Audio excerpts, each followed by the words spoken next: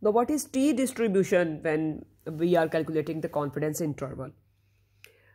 In a previous video, we are already discussed how to calculate the confidence interval when we are using the z-scores.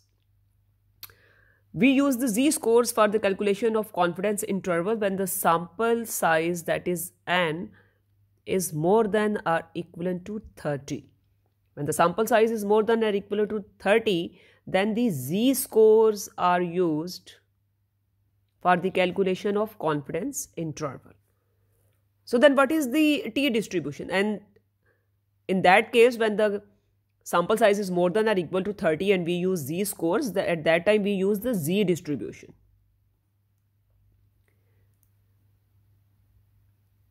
So now what is the t distribution? The t distribution is nothing, it's just a, as simple as uh, as we discussed the pre previously how, how to calculate the confidence interval it's just that when the sample size when sample size is less than 30 when the sample size is less than 30 and we have obviously we will calculate the confidence interval for a sample size of uh, less than 30 it's just that instead of z scores we use t scores and just as z scores are the authentic calculations, authentic values from standardized tables, same is the case with t scores. Now, let's elaborate it with an example. Say, for example, we have a data set of 6 samples. If our n is 6 and of I think we should reconsider it. If you remember in our very initial a video of how to calculate the uh, standard deviation, there we used a data set of 6. So, we are using the same data set. So, n is equal to 6. The sample mean is 18 and standard deviation is plus minus 7.8.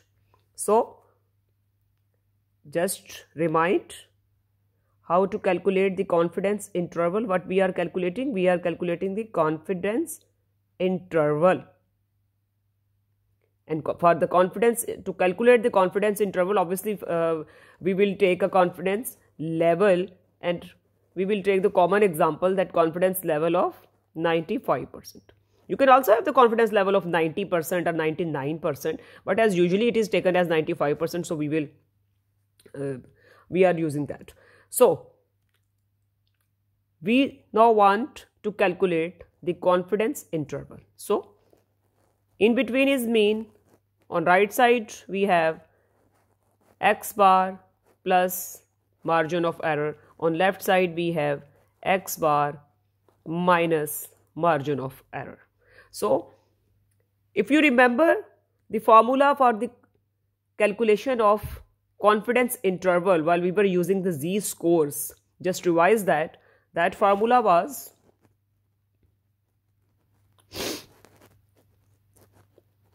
the confidence interval to calculate it.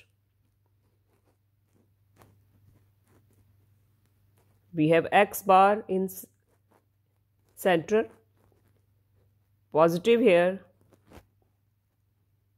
Negative here and how to calculate E? Obviously, we need the value of E. When we were using the Z scores and the Z distribution, the formula of E was ZC standard deviation divided by square root of n. So, now what we are doing? Now we are calculating the confidence interval while using a z distribution. Why? Because our sample size is less than 30. Sample size is just 6. So, this basic maths will be the same. That on right side we will have x bar plus margin of error. On left side we will have x bar minus margin of error. This E is just to revise this E is margin of error and this procedure where we are calculating these two values is called the interval estimate.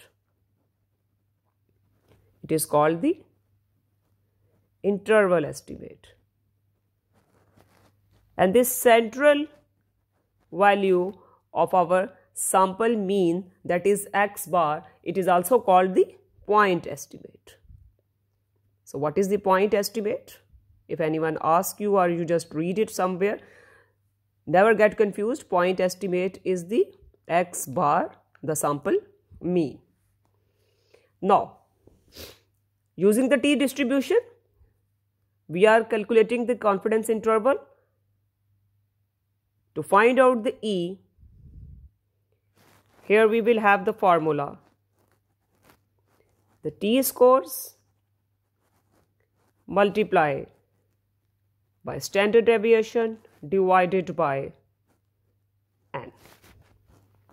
So first of all to find out this value as we know that our standard deviation is 7.8 7.8 divided by underscore 6 it is equal to 7.8 divided by 2.4 obviously we will use the calculator for doing all these kind of things. And then t score now multiply by 7.8 divided by 2.4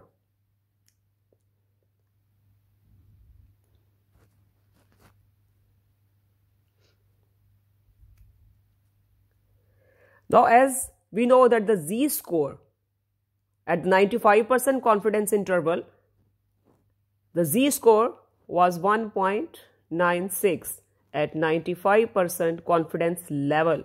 The z-score was 1.96 and always remember that at 95% confidence level the t-score is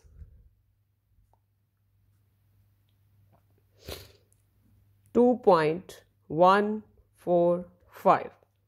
So here we will have two point one four five multiply by answer of this that is 3.25 so it will be equal to 6.97 for our ease we will round it off to 7 now our confidence interval will be x bar was 18 18 minus 7 18 plus 7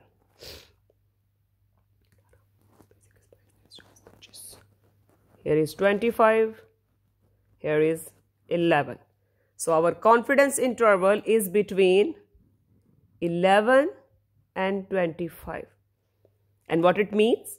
Now this means that our population mean mu the that is also called the population parameter is between these two values of 11 and 25 so our confidence interval while using a t distribution table by using a t score entering that t scores into the formula of finding out the margin of error when the sample size is less than 30 here we have our confidence interval values. So this is t distribution in contrast with what was z distribution